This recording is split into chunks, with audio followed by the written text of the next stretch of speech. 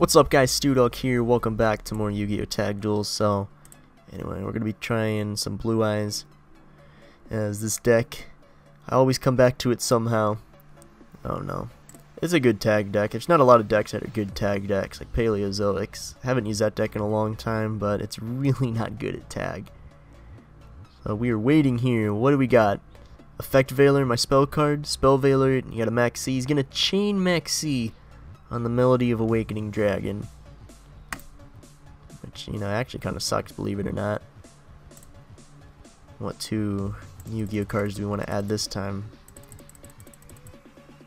Well, I mean, we only got three options, so the Blue Eyes is pretty useless. Whatever. What are we going to do? Just not go Chaos Max? I don't want to give him a draw. Why chain Maxx C now? I know, right? Same question that I'm asking, man. I'm still gonna special summon one though. I don't know. Best answer ever. He's like, nope, I, I don't know. Why Chain Maxx C now? I don't know, man. So we'll go for the advanced ritual art. Sending Blue Eyes White Dragon to the graveyard, summon this. He gets a free draw. Whoop de doo. And I guess set that. Can you guys do us a favor and not rage quit? oh my god, some funny stuff right here. So, anyway, yeah, yeah, I, I get rage quits a lot. Going up against Admiral Smoker. 40 card deck with 12 in the extra deck. Lucky number 12. Hmm, actually, I don't think 12 is a lucky number, right? It's 7, right? Maybe you could increase your luck if you put 7 in the extra deck. You're going to start things off by normal summoning that Goblin Attack Force in face-up attack position. New card! Do not see the Goblin Attack Force used every day. Interesting stuff. And uh, my tag partner, Jags Fan 346 he is a subscriber, I know that for sure. Big thanks for tagging with me, man. He's been a few, been in a few of my live streams. I haven't streamed in a long time though. But wow, looks like he's got some great plays. Summon that Scorpio to summon the. Oh yeah, he played the Frightful Patchwork to add himself a couple of cards. Apollyon Edgent monster from his deck to the hand. Yeah, nice search cards for the win. So let's see, is the effect of Scorpio fine? He's going to Torrential Tribute upon the effect of the Scorpio, which is not the right time to Torrential Tribute, my good sir. As you would probably want to wait to at least he summons, but I mean, uh, be, my guest. So he's going to go for Sundu King G. King the Third? Is it, or King the Second, right? That's Roman numerals for you.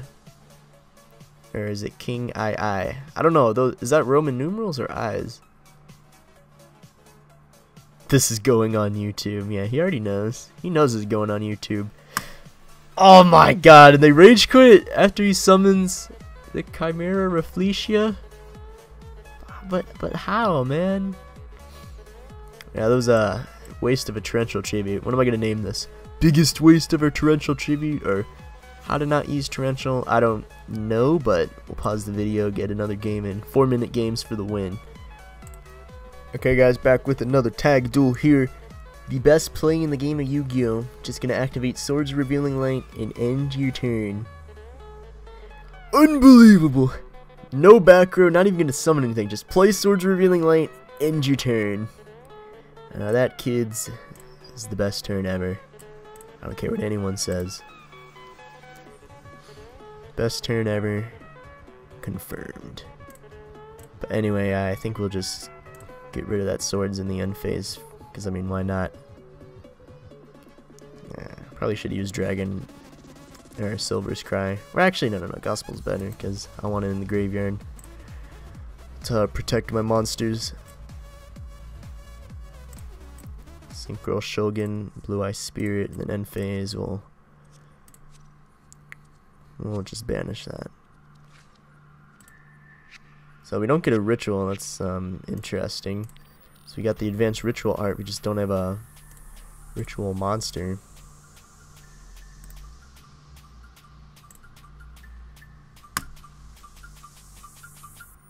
Yeah, get that sword's revealing light out of here, son. Too strong. Way too strong. Okay, so that was an interesting turn. Let's see what the other guy's playing. Lamont 22. He has a 46 card deck with 15 in that extra deck. Start things off by setting one card face down on the field. Oh no, scratch that. Two cards face down on the field. Which is going to end his turn. Hmm. Could be anything, guys. I have no idea what we're going up against. It's a tag partner. Hopefully you're playing something of decency. Alexis is a stupid. Oh my god, really? You're playing Blue Eyes too? Oh my god. Oh my god, I can't believe it. I don't even know who this is. Like, what are the odds that we're both using the same deck? That is some crazy stuff. So we see Maxx C activated upon the normal summon of the White Stone. And he's like, forget it, still gonna go for the plays, activate the Sage in his hand to target the White Stone, summon Blue Eyes from your deck. Interesting. I mean, having this in the graveyard's nice. Gonna exceed into number 38. Hope Harbinger Dragon Titanic Galaxy. Already giving your opponent a free plus one off the Maxx C. You might want to stop Alexis.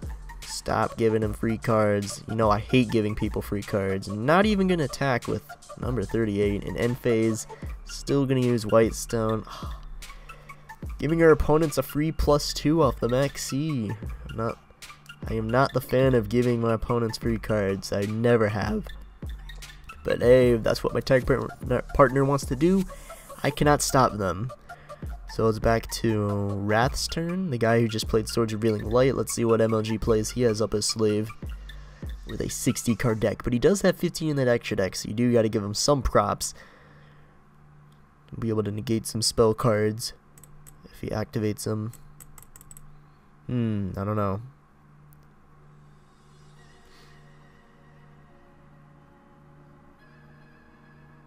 So, come on, Wrath. What you gonna do? I don't got all day, man, so you better hurry it up. Come on, Wrath.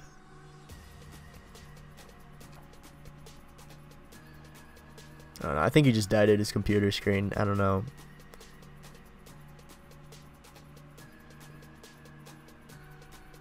I don't know, so I guess we'll pause the video, wait for him to do something here. Maybe he went AFK? I have no idea. Okay, finally, he's going to set a monster face down on the field. Great idea. And he's going to tribute our number 38 for Star Destroying Kaiju Jizukiru. Okay, I mean, still a free 3300 beater. He's not even going to play a spell card anyway. I mean, some questionable plays to say the least here. But anyway, let's see. What else do we really want to do?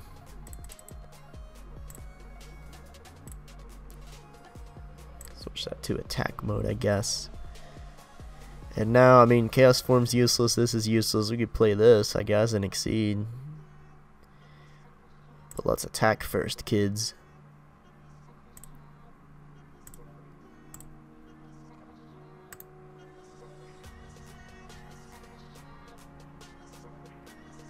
What could that set monster possibly be? Oh no, we're waiting. Is that a mirror force?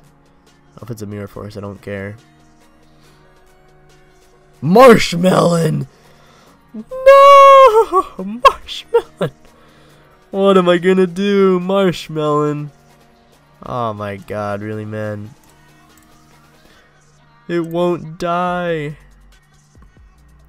Wow, that is pretty hilarious. A Marshmallon, really? Oh my god, what are we going up against, man? What the frick are we even going up against?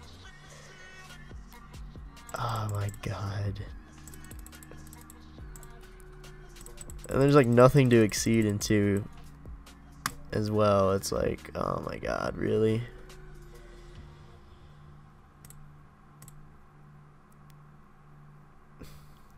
Whatever, just go.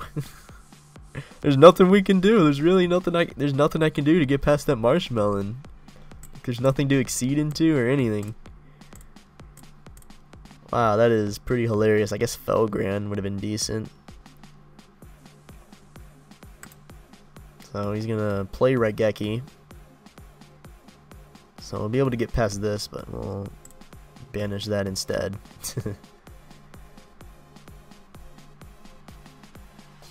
yeah, he has quite a bit of cards to work with thanks to my tag partner giving him three draws off the Maxx C. Yeah, not one, not two, but three. But he's just gonna end his turn, play Raigeki, end your turn. So again, we have no idea what these guys are playing here.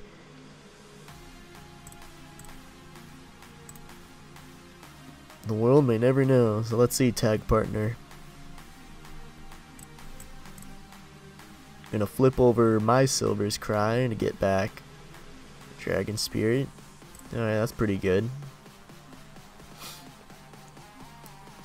Banish something on the field. I'm gonna exceed into that Felgrand. Just exceeding into Felgrand to negate a Marshmallow feels terrible. Like, I'm just saying.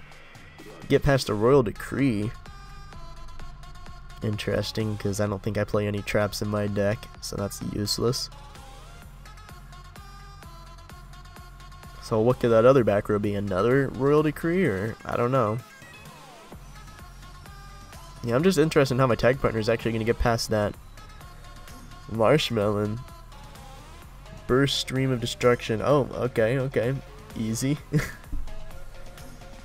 Destroy monsters your opponent controls. Hey, that's pretty convenient. Wow. Don't see a lot of people actually play this card. And now he's going to go for Dark Matter, I'd assume.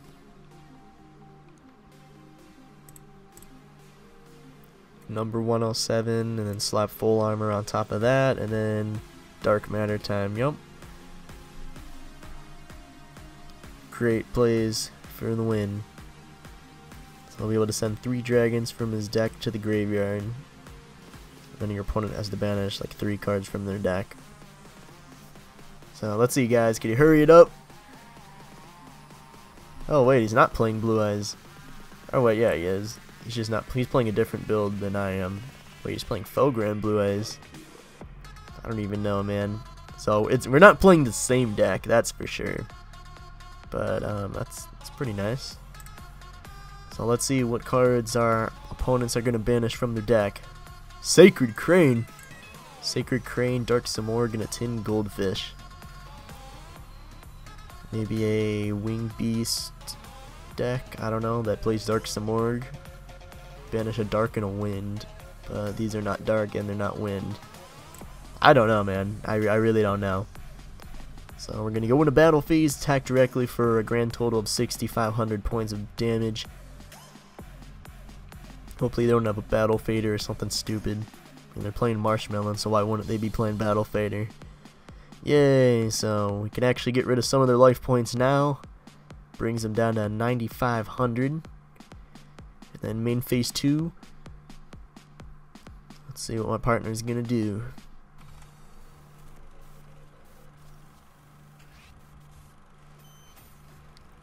Come on, partner. Nope, just to end your turn. So back to the Swords of Revealing Light guy. Again, the only two cards we've seen from him was Swords, Marshmallow. Oh, we did see the Kaiju, right? I think that was from him. Marshmallow plus random Kaiju and Swords Revealing Light. Next meta confirmed. Just gonna set two cards face down on the field and end his turn. Unbelievable. Literally, unbelievable. I'll trade in that.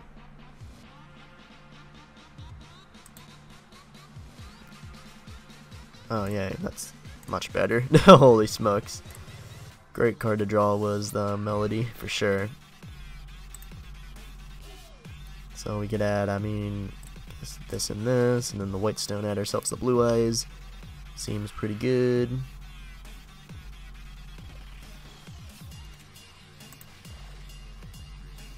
Oh yeah, so this game 4, 5, 6, 7, 8, 9. I mean, technically the alternate is game on board.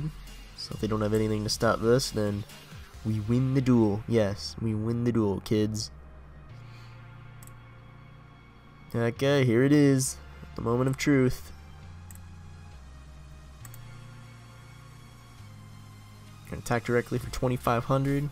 There's the battle fader. Wow, I called it. I literally called it. I called that battle fader. Wow. that is hilarious. I actually called that battle fader. In a 60 card deck, too. I will just um, pop that for free, and then we'll... Do you even want to summon Chaos Max? I mean... Uh, save it for later. I mean, we already got game on board, right? Whatever, just go. So they live another day thanks to the beautiful battle fader. Hopefully they don't got another one. and back to the other guy's turn. Again, I have no idea what he's playing. We saw like a Dark Simorgh Sacred Crane deck and a normal summon that Star Drawing. Reveal the Kagetokage in his hand. Special summon that.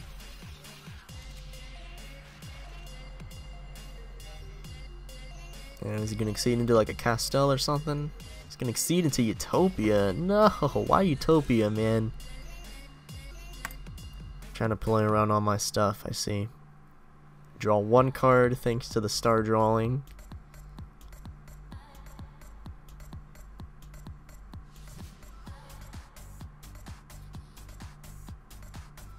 And now what? Utopia Ray. Utopia the Lightning. Come on, man, just do it. There it is. Congratulations. Congratulations, man. Hmm, and you gonna go to battle phase now? No, he's gonna play Exceed Override field spell. Some terrible quality picture there. Dear lord.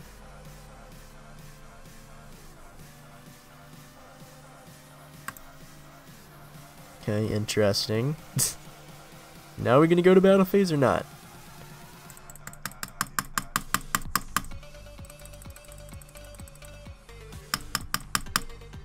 Wow, really? Wouldn't let me activate the effect? Are you kidding me? End of main phase 1, want to activate an effect, and it's like, nah, nah, son. Really? That's unfortunate. Wouldn't let me... I don't know if there was something I was missing there or what.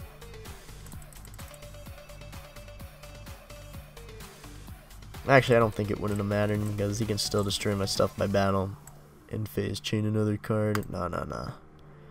Not getting past the alternate, so we can technically kill that for free. Whatever. So can we finally just end this already? oh my god, this duel, man. So it seems like we're going up against some weird Exceed Utopia deck, but he's playing Dark Simorgh but we haven't seen a wind or a dark monster yet, so yeah, I don't know. And I don't even know who's playing the Decree. We saw Royal Decree, so is those are those back rows actually traps? Apparently they are. Oh, there's Fog Blade. Activated, interesting choice. Again, have no idea what we're going up against. Random Fog Blade out of nowhere? Like, who needs to play Fiendish Chain, I guess. So he's gonna summon another one of these guys, his own copy. This time the effect resolves, can get past that Utopia of the Lightning, desperately needed to get past that. Probably gonna exceed into a rank 8 now. Maybe not. I mean, you probably should. You can't attack with any of this stuff anyway. So, I mean, I don't know why you wouldn't. So what rank 8 you can go for this time? Maybe he's out of rank 8s. Maybe he only plays 2. Like the 38 and the the dark matter package, I guess. I don't know. We're still waiting for something here. This video's been going on for so long. Actually, only 20 minutes. Felt like it's been longer than 20 minutes, though, but... Come on, tag partner. Exceed. It's not that hard. You know, you put the two level 8 monsters on top of each other, and then you summon something from the extra deck. Come on, man. First grade.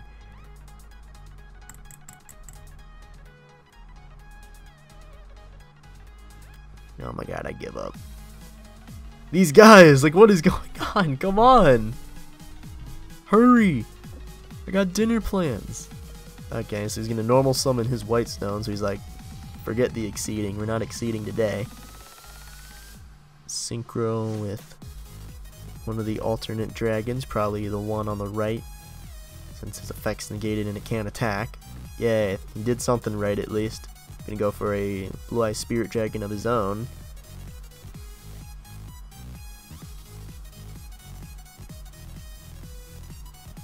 Attack directly for 25-25 and this cannot attack.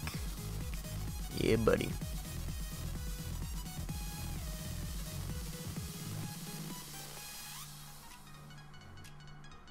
And then Enfei is going to activate his stone. Yes, he is. And go just for a regular blue eyes from his deck. It's pretty nice.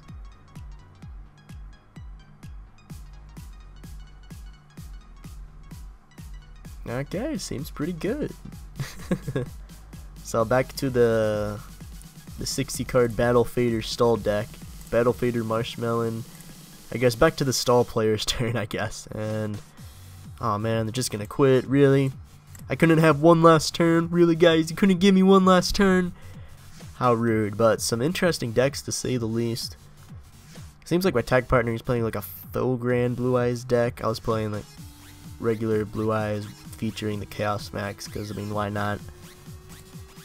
But um, the stall guy, he didn't do a whole lot. The other guy though, he was weird deck, like Dark Simorgh, Sacred Crane, random Fog Blade out of nowhere, and then just the Utopia package. Like I don't even know what he was playing. Guess some Exceed that deck maybe featuring Dark Simorgh, because I mean, why the frick not? I don't even know, but anyway. Thank you all for watching this episode of Tag Duels as always, and we'll be back next week with some more.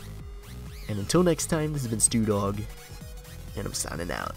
Hey, lights out.